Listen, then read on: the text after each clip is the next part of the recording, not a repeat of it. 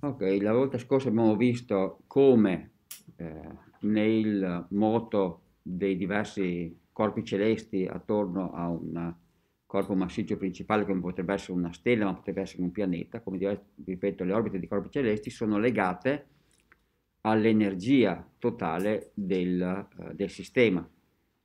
E oggi vediamo un altro concetto importante legato sempre al concetto di energia, che è quello di velocità di fuga. Immaginiamo, fatemi fare un disegno, se riesco a fare un disegno a cerchio decente, che questa sia per esempio la Terra, o comunque un oggetto, un corpo celeste di massa m grande, con un raggio r. E sulla superficie di questo oggetto c'è un corpo m piccolo. Ok? Eh, inizialmente possiamo dirlo fermo, quindi m piccolo è fermo, cioè la sua velocità è nulla. In queste condizioni si trova quindi a distanza r dal centro del corpo celeste sul quale si trova, quindi la sua energia potenziale gravitazionale, U grande, lo possiamo calcolare come meno la costante di gravitazione universale G maiuscolo per la massa del corpo celeste su cui si trova per m piccolo diviso la distanza dal centro del sistema, quindi R grande, d'accordo? Ok? E questo se il corpo è fermo è la sua energia totale, se, perché se è fermo l'energia cinetica è nulla. L'energia cinetica è zero.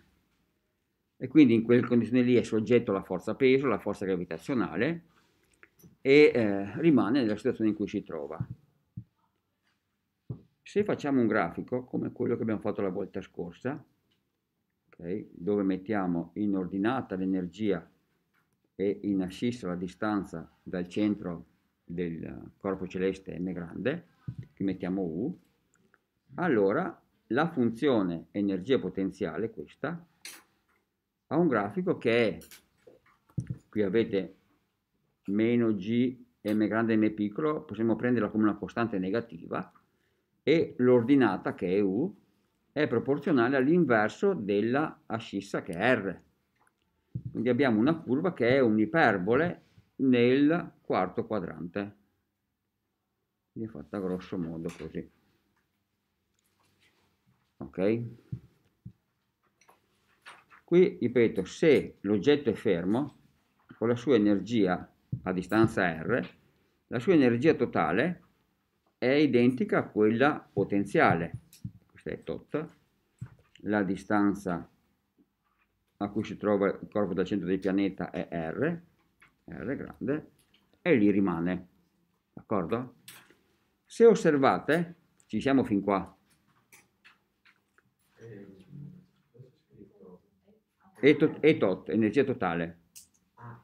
Eh, fammi, lo, lo scrivo un poco meglio perché ahimè la mia calligrafia non è certo il massimo. Questa è l'energia totale del sistema, dove per energia totale indichiamo l'energia cinetica più quella potenziale. Okay? Ora osservate che se idealmente aumentassimo l'energia totale, okay, la distanza a cui l'oggetto può trovarsi rispetto al centro del sistema di, aumenta nel tempo perché questo punto dove la, la retta verde orizzontale si interseca con quella rossa si sposta verso l'esterno. Idealmente quando l'energia totale raggiunge il valore 0, quindi quando l'energia totale raggiunge lo 0, R può raggiungere valori arbitrariamente grandi, dato che questo punto si sposta via via a distanze sempre più grandi. Dato che non c'è intersezione tra il grafico in rosso e la retta orizzontale, okay, R può arrivare fin dove si vuole in sostanza.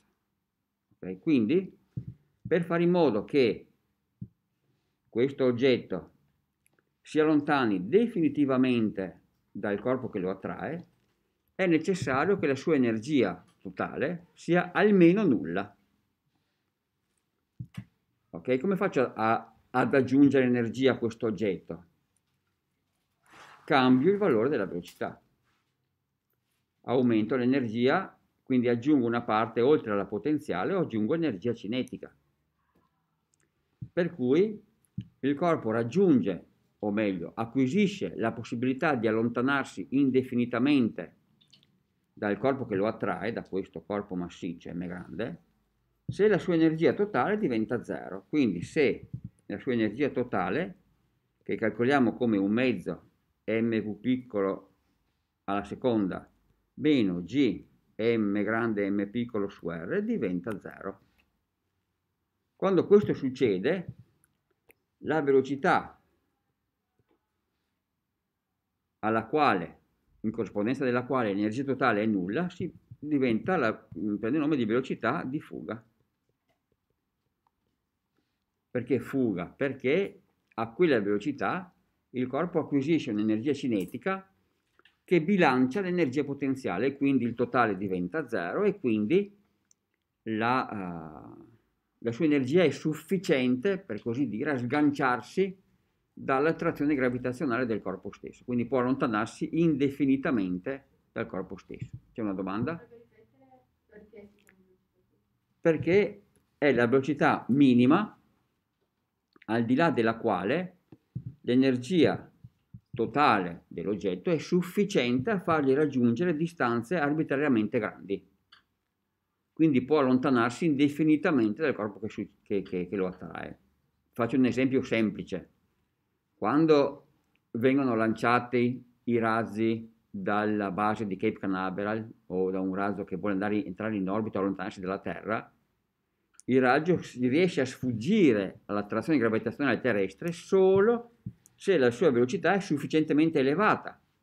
Quale velocità deve raggiungere? La velocità di fuga, perché altrimenti si allontana dalla Terra, ma se, è, se si muove troppo lentamente, dopo un certo punto la forza gravitazionale è talmente intensa che lo rallenta, lo ferma e lo fa tornare indietro, come se io lanciassi un sasso in aria. Ok? Se lancio un sasso in aria, se non lo lancio con velocità sufficiente, si alza di un certo tratto, si ferma perché la, la forza gravitazionale lo rallenta, poi lo ferma e poi lo fa ricadere indietro. Qual è la velocità minima al di là della quale lanci il sasso e questo non torna più indietro? È la velocità di fuga e quando è che riesce a non tornare più indietro solo se la sua energia è sufficiente a bilanciare quella gravitazionale. Quindi se ha abbastanza energia cinetica.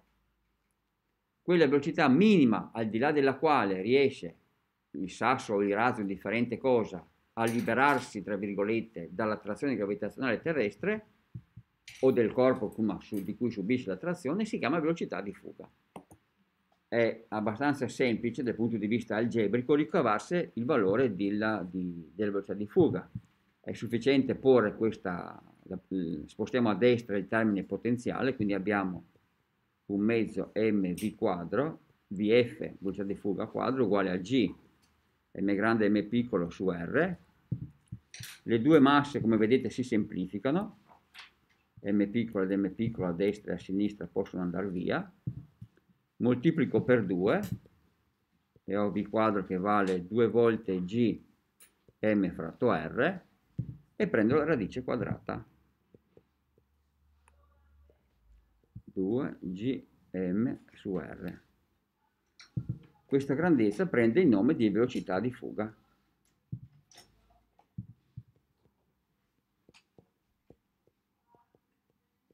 Quindi se ho cioè, cosa ci dice questa relazione?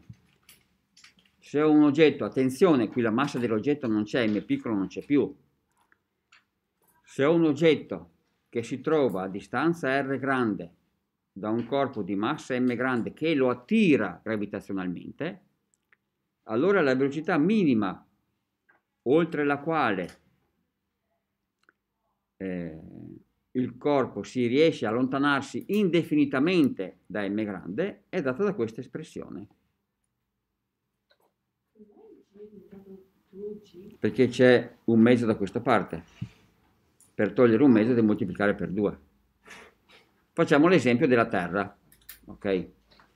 qual è la velocità minima a cui devo lanciare un razzo dalla Terra per fare in modo che si allontani e non ricada sulla Terra una volta che è lanciato. Per la Terra, vediamo, vediamo qua sotto,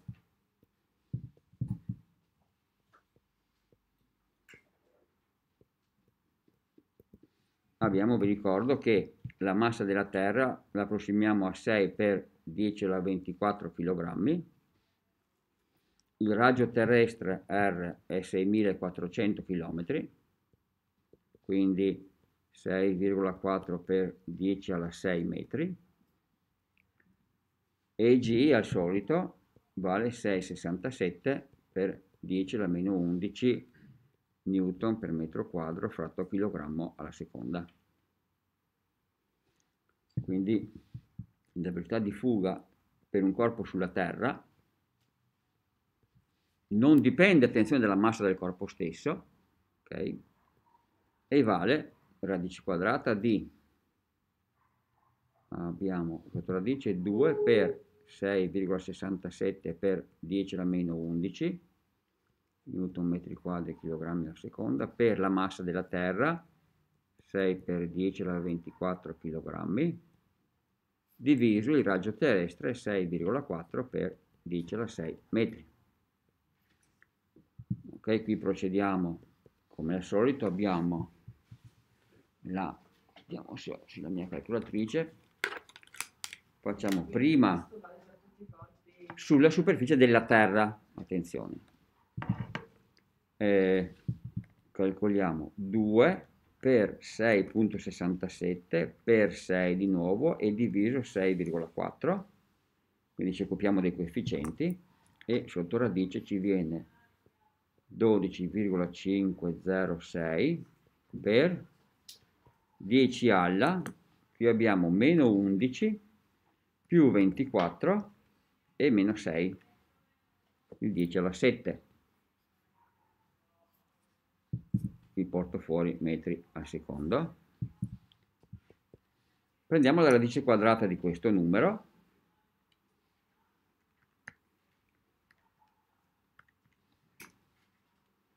E abbiamo, se ho fatto i calcoli decentemente, 1183.02 metri al secondo.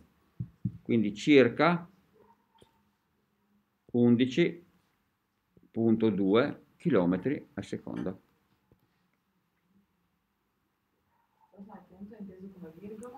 Sì, certo, questa è una virgola, scusami.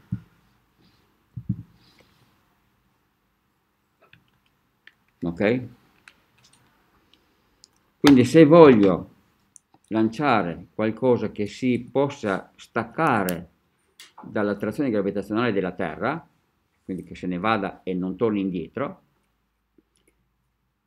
devo lanciarlo con almeno questa velocità. Ok? Se invece sono, quindi se voglio mandare, che ne so, il razzo Apollo sulla Luna, deve sganciarsi dalla Terra, deve partire con questa velocità. Se invece sono sulla Luna, è chiaro fin qua, se fossimo sulla superficie lunare, quindi sulla Luna, scusate un secondo che scrivo un poco meglio. Certo, indipendentemente dalla massa del razzo, deve partire con quella velocità. Chiaramente più il razzo è massiccio, più carburante mi serve perché? Perché il carburante serve per fargli acquisire l'energia cinetica sufficiente e quello dipende dalla, dalla massa, ma la velocità è la stessa. Ok? è più costoso far partire un razzo grande piuttosto che uno piccolo perché mi serve più energia per fargli raggiungere la velocità di fuga, perché l'energia dipende dalla velocità ma anche dalla massa. Meno costa farlo spedirlo in sostanza. Però la velocità soglia è indipendente dalla massa dell'oggetto, questo è importante. Se fossimo sulla Luna, fatemi fare il solito disegnetto, okay. allora dalla Luna la velocità di, di fuga di un corpo che si trovi sulla superficie lunare vale, la formula è analoga, qui avremo due volte sempre G, qui però la massa della Luna stavolta è diviso il raggio lunare. Ok, G l'abbiamo appena visto, fatemi andare a recuperare i dati della Luna. La massa della Luna vale, era eh, ecco, 7,3 per 10 alla 22 kg, ok? E ehm,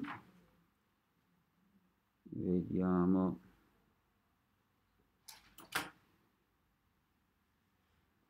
Ecco qui abbiamo il raggio lunare. Qui in realtà questa tabella ci dà il diametro ma non fa niente dividiamo per 2 ok che è questo.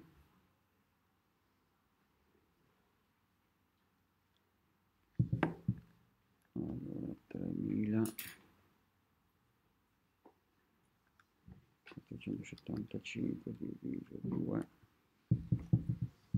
1737 km quindi 1.7 per 10 alla 6 metri okay. e con questi dati possiamo calcolare prego certo il dati il, la velocità di fuga dalla luna okay. qui dà il diametro non so se riuscite a vederlo quindi questo lo dividiamo per 2 per avere il raggio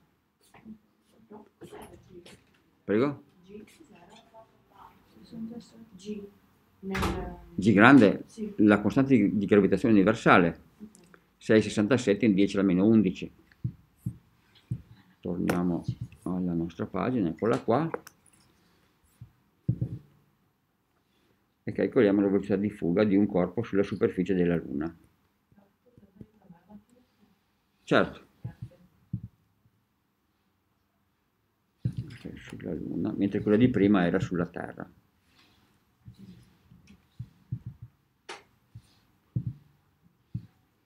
Ovviamente la relazione è la stessa. Ok? Vado? Bene.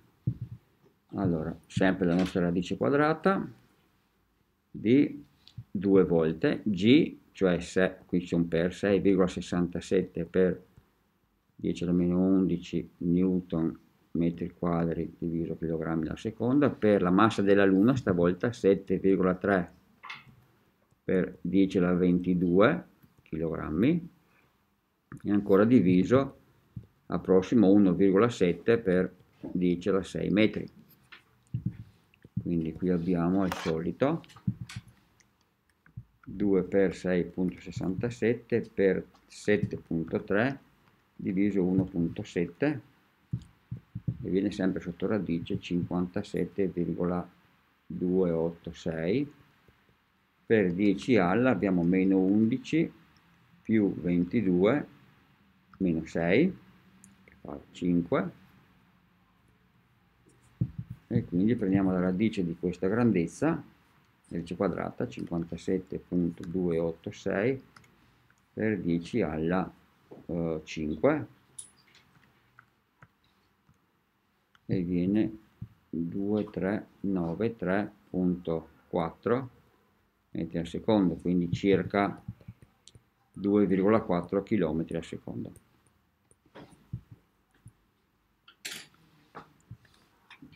Ok?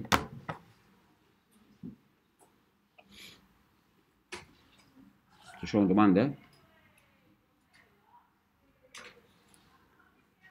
Allora, torniamo a dare un attimo un'altra occhiata alla relazione da cui, eccola qui. Per come è fatta la velocità di fuga,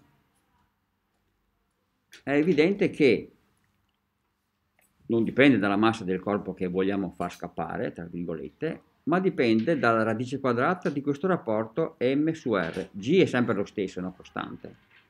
Quindi se un corpo celeste è molto massiccio, sarà più difficile scappare perché mi serve una velocità più grande. Ma la velocità è ancora più grande se a parità di massa il corpo è molto piccolo. Quindi se un corpo massiccio ma piccolo, quindi molto denso, la velocità di fuga è grande.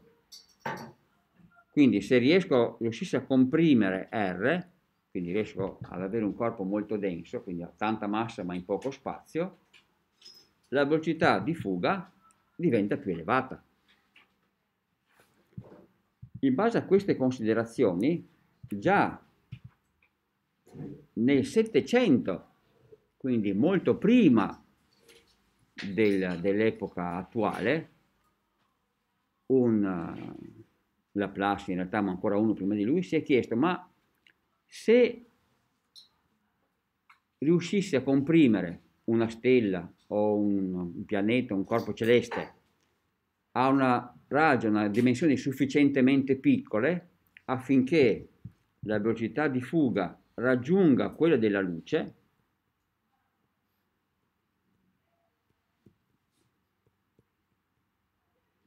C la velocità della luce, C sta per celeritas, è un termine latino, allora da quel corpo celeste, metti che questo sia il raggio sufficientemente piccolo affinché la velocità di fuga raggiunga questo, questo valore, non esce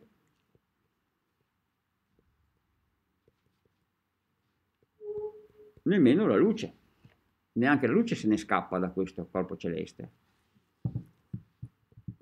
Questo corpo diventa nero. Certo, ed è quello che chiamiamo buco nero, perché in cielo apparirebbe come una zona da cui non viene neanche una piccolissima luce. Ripeto, abbiamo il seguente concetto. Se ho due corpi a una certa distanza l'uno dall'altro, qui il corpo m grande posso pensarlo concentrato nel suo centro, allora l'attrazione gravitazionale tra un corpo e l'altro fa sì che il sistema acquisisca una certa energia potenziale che è data da questa espressione. Okay. Il cui grafico è rappresentabile come un'iperbole nel quarto quadrante. Abbiamo visto che se aumento l'energia di questo oggetto, quindi se lo faccio muovere, do energia cinetica, aumento a parità di energia potenziale, aumento l'energia totale e posso aumentarla fino a che non raggiunge un valore nullo al, al valore del, al, nella, nella quale situazione la distanza tra m piccolo ed m grande può raggiungere, questo valore di r, può raggiungere valori grandi quanto si vuole perché questo grafico non interseca l'asse orizzontale. Quindi quando l'energia totale del sistema è nulla, il sistema si dice diventa slegato, cioè il corpo m piccolo può allontanarsi indefinitamente, cioè senza tornare mai più, dal corpo m grande. Okay? Come faccio a fargli raggiungere questa energia? Beh, è sufficiente che, data l'energia potenziale al quale si trova, che è legata alla distanza, a questa energia aggiungo una parte di energia cinetica, cioè un mezzo mb la seconda. Quanta me ne serve? Beh, me ne serve tanta da cancellare questa, da fare in modo che il totale sia zero.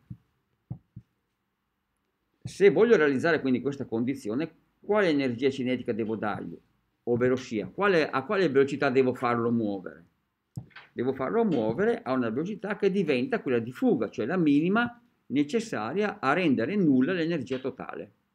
Perché nulla? Perché è il, solo, è il valore minimo al di là del quale la distanza tra i due oggetti può raggiungere qualsiasi valore, anche valori infinitamente grandi, quindi sono, si slegano questa grandezza, la velocità di fuga da corpo, da, dall'attrazione gravitazionale di un corpo celeste di massa m grande, ha questa espressione.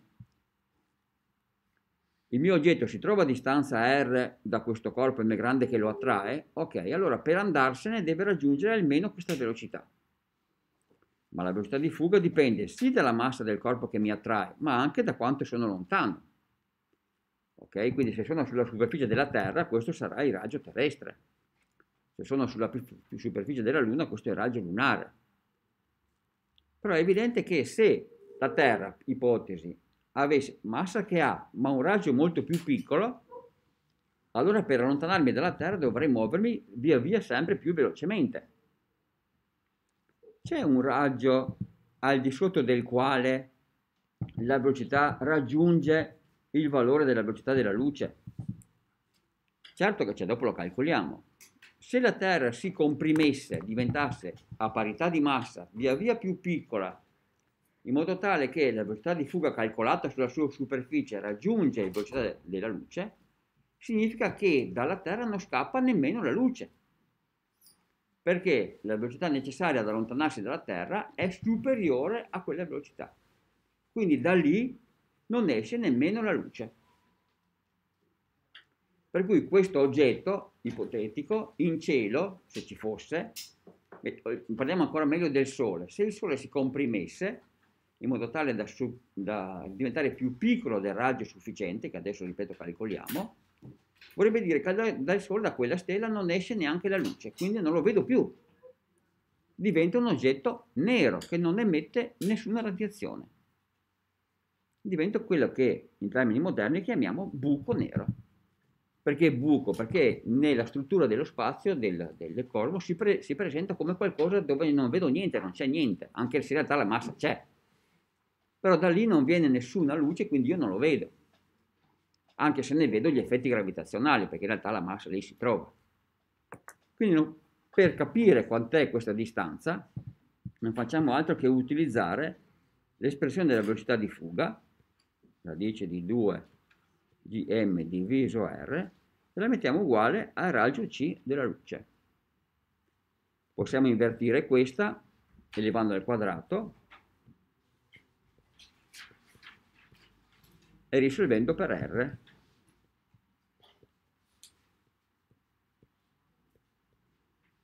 Ecco, se un oggetto che ha una data massa, supponiamo che sia di tipo sferico, abbia geometria sferica, avesse un raggio uguale o più piccolo di questo, allora dal, dallo spazio che lo circonda non si potrebbe allontanare nemmeno la luce. Questo raggio particolare prende il nome di raggio di Schwarzschild, dal tizio che, eh, dal ricercatore che l'ha, che l'ha introdotto.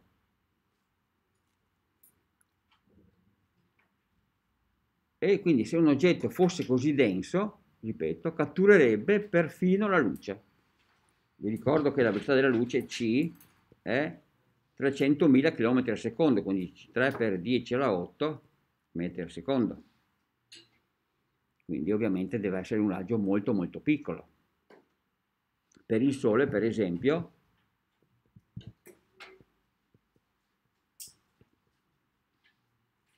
vi ricordo che la massa del Sole è, eh, andiamo, era 2 per 10 alla 30 mi pare,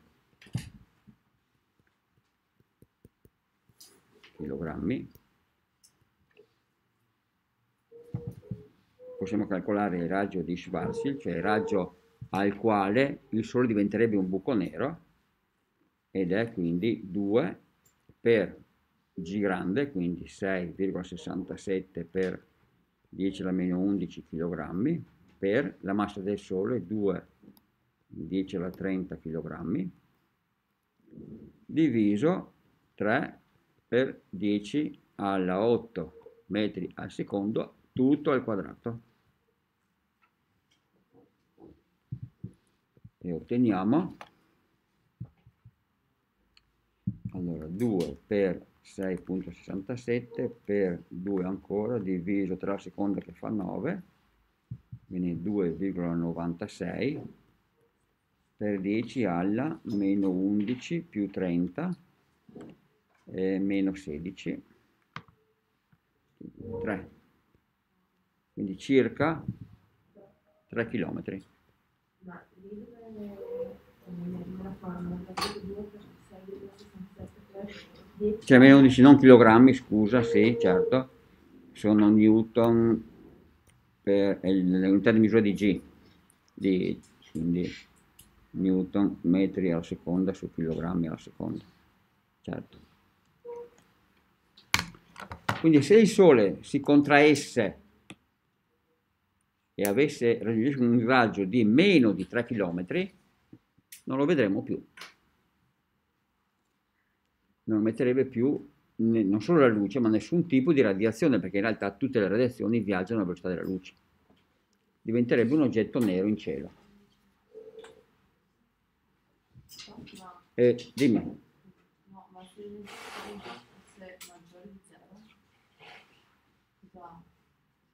Beh, sì, è la velocità minima. Se viaggio al, sopra la velocità di fuga, comunque mi sgancio dall'attrazione gravitazionale perché raggiungo distanze comunque infinite. La velocità di fuga è la minima velocità alla quale devi andare per riuscire ad allontanarti indefinitamente. Qui, se un corpo avesse questa densità, quindi questo raggio, se il Sole avesse questo raggio, la, la, non riusciresti ad allontanarti mai più, perché la velocità della luce in realtà è la più alta velocità che qualsiasi oggetto fisico può raggiungere nel nostro universo. Quindi siccome non, nessuno, niente va più veloce, niente può sfuggire da questa distanza. Se sono più lontano ce la faccio, capiamoci. Se sono abbastanza lontano, la velocità di fuga è più bassa. Ma se mi avvicino al Sole per più di quella distanza, posto che lui sia diventato un buco nero, non scappo mai più. Qui si dice che il, questo è una distanza, cioè se valico questa non torno più indietro. Ok? Domanda, domanda da mille punti. Esistono oggetti simili in natura?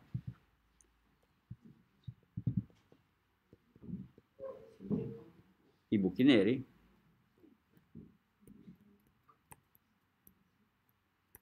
La risposta è sì. Perché? Beh, eh, fino a non molti anni fa, quando ero studente, il, allora tanti anni fa, ahimè, il, questo era dubbio. C'era un unico corpo celeste che si eh, presumeva avesse questa caratteristica, questa struttura, che era un oggetto nella costellazione del Cigno. E eh, come fa uno a accorgersi, se è nero, come fai a accorgerti che esiste? Okay? Ti accorgi che questi corpi esistono in cielo, non perché non li vedi, ma perché normalmente sono, i buchi neri, chiama, lasciatemi abbreviare, sono il prodotto dell'evoluzione stellare.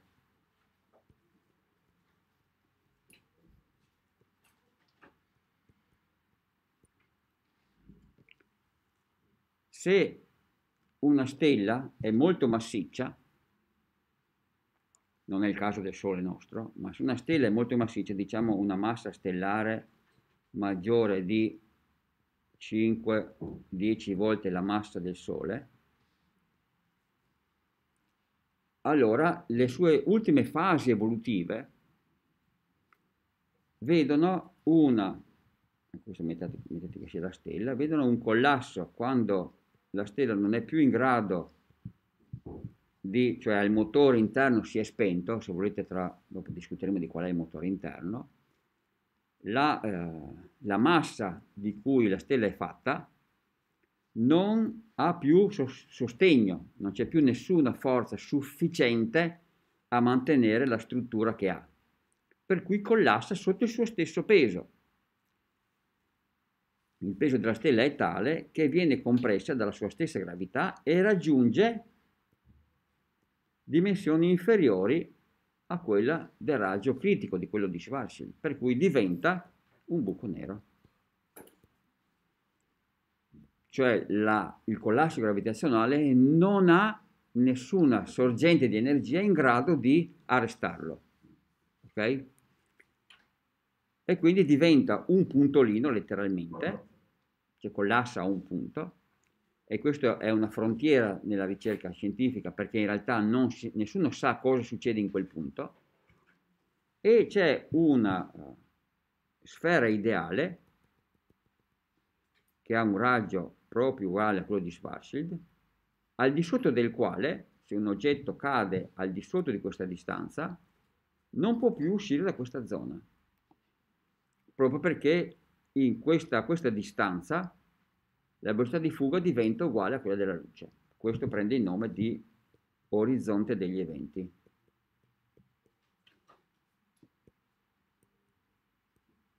ed è proprio una superficie di, se volete, discontinuità spazio-temporale. Cioè qui all'interno di questa zona succedono cose che normalmente non succedono, per capire le quali è indispensabile avere uno strumento matematico molto potente che si chiama relatività generale, che non abbiamo modo di trattare ovviamente. Ok? E, eh, però in queste condizioni, ripeto, se la stella è collassata, d'accordo? E quindi non emette più luce, come faccio ad accorgermi che c'è? Me ne accorgo perché, le osservazioni astronomiche ce lo dicono, perché normalmente la maggioranza dei sistemi stellari è, sono, si tratta di sistemi multipli, cioè dove ci sono più stelle. Quelli abbondanti sono le, i sistemi doppi, cioè le stelle sono a coppia. Okay? E ci sono delle fasi in cui una delle due stelle è sufficientemente massiccia in modo tale da evolvere in un buco nero e poi ce n'è un'altra che le orbita attorno ok? Le gira attorno a un sistema doppio, quindi sono legati, ok?